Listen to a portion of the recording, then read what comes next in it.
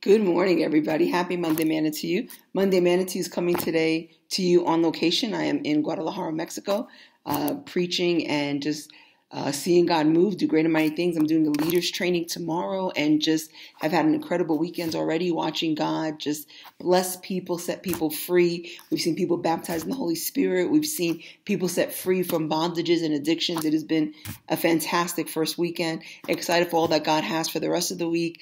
Um, but just wanted to take some time today and just speak with you and share with you what's on my heart. It's found in uh, Proverbs 24 14. I'm sorry, 24 16. It says, A righteous man falls seven times, but gets up every time. It says, A righteous man falls seven times, but gets up every time.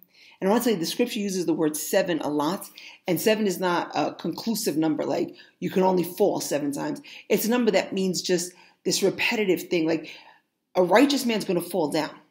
We're going to fall. We're going to fall many times, not seven times. We're going to fall 70 times, 70 times, 70 times, 70. That's the truth. We are fallen individuals and we are people that have frailties and have sin and have issues that we're struggling with. Our, our sin nature has been put to death, but how many know it likes to resurrect every now and then? And so we're going to make many mistakes. We're going to fall. We're going to do things that we go, come on, I knew better than that. And we're going to get discouraged by that. And the Bible says you're going to fall. You're going to fall again and again and again. You're going to make mistakes. You're going to mess things up. You're going to do things that you shouldn't do and say things that you shouldn't say. The deal is this a righteous man gets back up every time. You fall, you repent, and you get up. You repent and you get up. And you repent and you get up every single time. A righteous man doesn't sit in the failure. He cleans off his pants and he gets up and he does it again. He leans on the Lord more. He learns from the mistake that he made. He moves forward. You might fall 70 times. Get up every single time. Our nature often is if I mess up is to sit there and just, oh, I can't do this. I can't fit. And the Lord is saying, stop, don't do that. A righteous man is going to fall. We're all going to make mistakes. The Bible is clear about that. We're not perfect. We strive to be perfect, but we don't strive in our own strength. We strive in His strength. And so we're going to fall many, many, many times. Child of God, get up every time. Every single time, Lord, I'm sorry. I repent. And repent has two parts. It's not just saying I'm sorry. Repent means I turn from my sin and I return to God. I come back to God. It's a two part turn. I turn and I return. I return back to God. I repent and I go again. And I strive again and I move forward again. It doesn't matter how many times you fall. It only matters how many times you get up. Keep getting up. Keep doing better. Don't just receive the fall and just stay there. And don't take God's grace lightly. Don't just say, oh, God will just forgive me. No. A righteous man will honor God's grace. You'll fall, but you get back up again with the intention to what? Not fall again.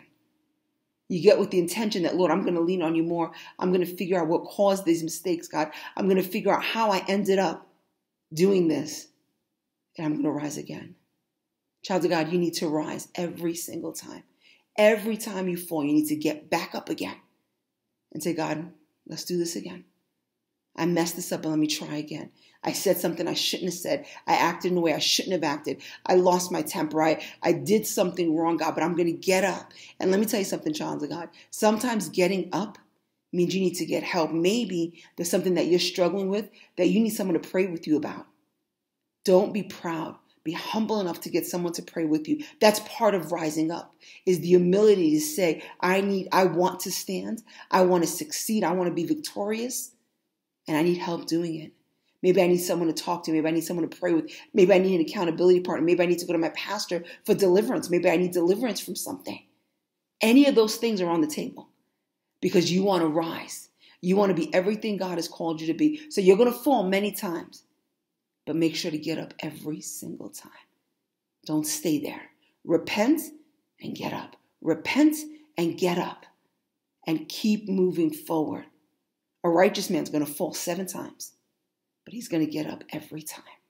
And so, Father, I pray for everyone in the sound of my voice today, God. I pray that you would encourage them, God, that we are all going to make mistakes, God, but that we need the courage and the strength to get up again and to move forward, to get up again, Lord God, and say, okay, God, I'm going to brush this off and move forward. Father, not to not to over um, use your grace, God, and think that because there's grace, we can do whatever we want. No, we receive, Lord God, that we need to repent, that we need to ask for your forgiveness, that we need to change our ways, God, and that we need to live lives that please you.